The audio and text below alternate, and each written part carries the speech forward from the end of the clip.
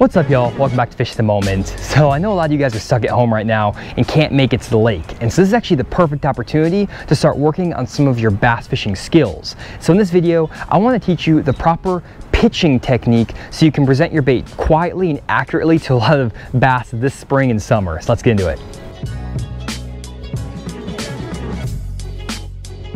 So first up was a pitch. And a pitch is a casting technique that's used to present a lure quietly and accurately to objects that are less than 30 feet away from the boat. And it's usually used when you're fishing around heavy cover like grass or logs or laydowns, and you want to present that bait into tight quarters and put it in there as soft as possible to not spook those fish in shallow water.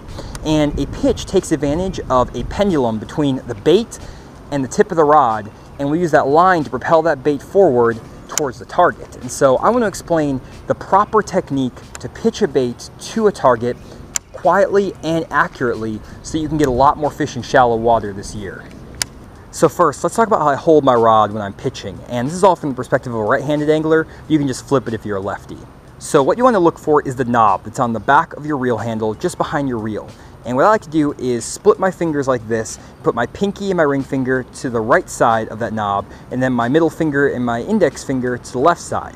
And I'm just going to put those fingers around the rod like so, and then I'm going to place my thumb on the line of the reel and that kind of is a natural motion. And that's how I like to hold the rod when I'm pitching. It gives me a lot of good control over the reel and it allows me to accurately present that bait. Now you can do it by putting just your index finger over this knob but I find this is a little bit more difficult and it's harder to control that reel. And so if you put that extra finger above that knob it gives you a little bit more control and allows you to present that bait a little bit more accurately the next thing we have to determine is the proper amount of line that you need out between your bait and the tip of the rod. And this is the key to a pitch. Again, you're taking advantage of that line between the tip and the bait to use a pendulum motion to present that bait quietly to your target. And so if you have too little line out, it's going to be very difficult to pitch because you're gonna have to stretch your arm out like this and it's not going to be very accurate.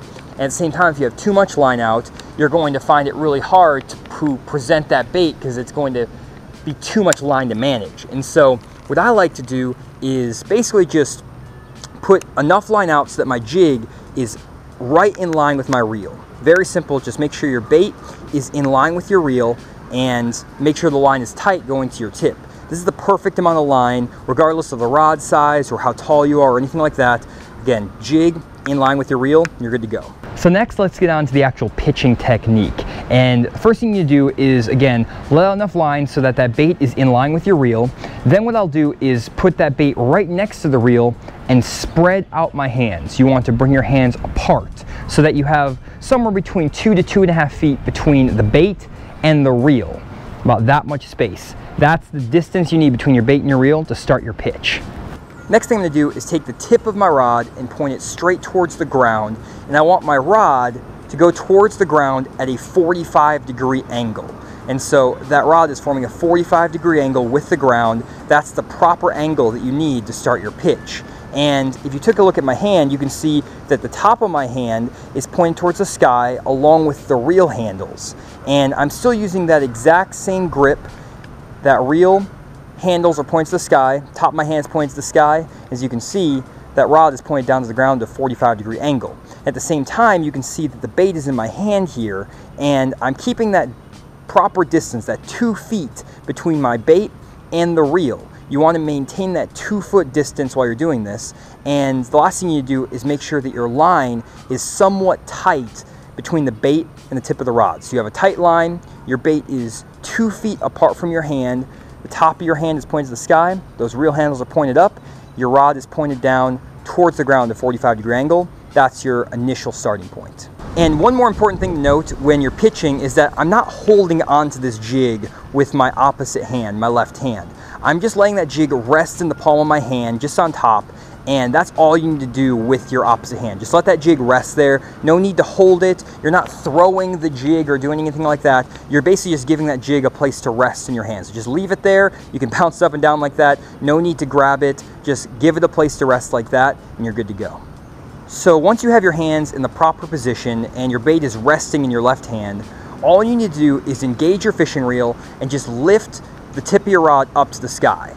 That will propel the bait forward and out in front of you, and it will create kind of like a pendulum between the tip of that rod and the bait. So you're just lifting that rod tip to swing that bait forward. And again, you're not throwing the bait with your opposite hand. You're not moving this hand at all. Just keep your left hand completely solid and still. Just lift that rod tip from that 45 degrees pointed down up into the air, and that will propel that bait out there. That's all there is to it. And if we take a look at my opposite hand while I'm doing this, all I'm doing is just lifting that reel up. So basically those reel handles, instead of being pointed to the sky, are gonna be pointed right at my chest. And so I'm going to point those reel handles at my chest. That's when you know that you've done it properly. And all it is is that pendulum motion out towards your target.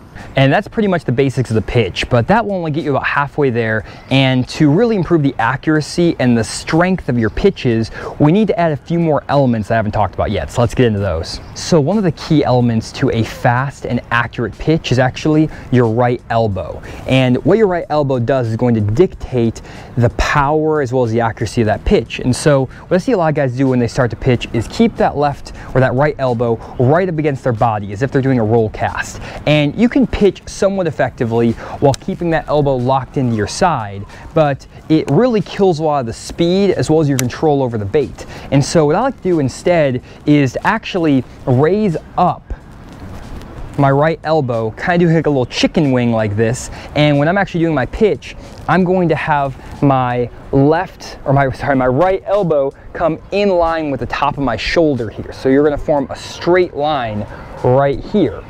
And then you're going to see that my forearm is angled a little bit down towards the rod. But that key is keeping that right elbow up in line, almost in line with your shoulder. And this will allow you to have a lot more power into your pitch as well as accuracy.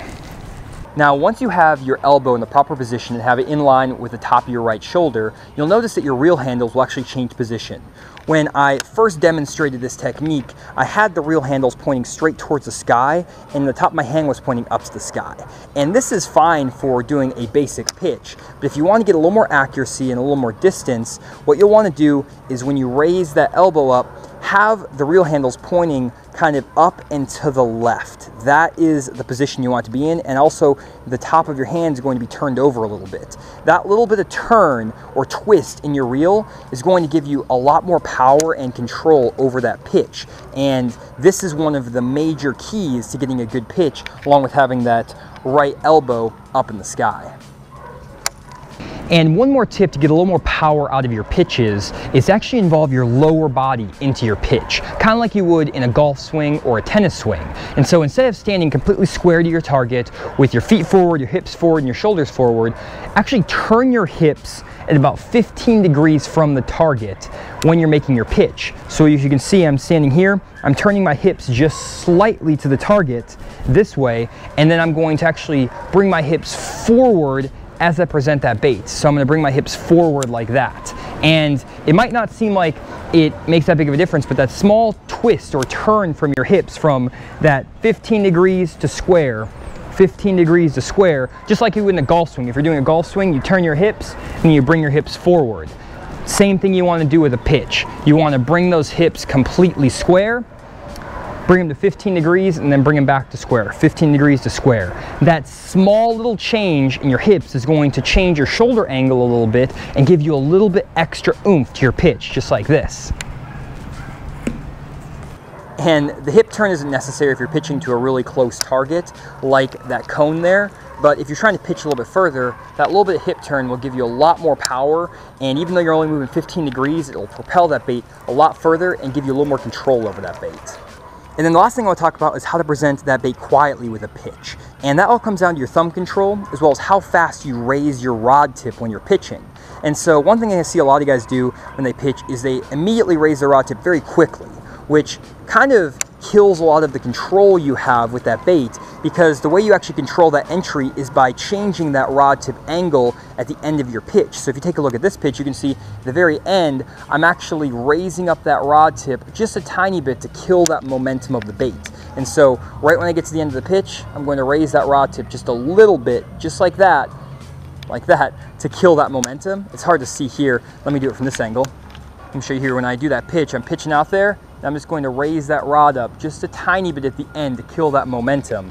And that's a really big key to getting an accurate pitch. And the last thing you have to pay attention to is your thumb control. And part of that comes down to how you set up your reel. And so what I like to do is actually set my reel pretty loose by backing off my braking system so it's a little bit looser and taking that tension knob and loosening it up so that my bait falls at about a foot a second, maybe a little bit faster than that when I let go of the button and let go of the line is going to fall about a foot per second. And that will allow me to make really accurate and smooth presentations and keep that bait low. The tighter you have your reel set up, the more tendency that bait has to rise up and it makes it harder to do a nice slow and low presentation into that target. And so loosen up your reel a little bit, make that bait fall a bit faster. You might get some backlashes, but in the long run, it'll help you present that bait a lot better. And then once you loosen up your reel, it all comes down to your thumb control to slow down that bait and prevent backlashes. And so what I like to do is actually keep my thumb on the spool at all times throughout the pitch. And what I'll do is keep my pressure on that spool very light as I start my pitch. And then as that bait gets closer to the target, I'll add a little more pressure, more pressure. And then as that bait gets right up to the target, I will completely stop the spool by putting my thumb tight down on that spool.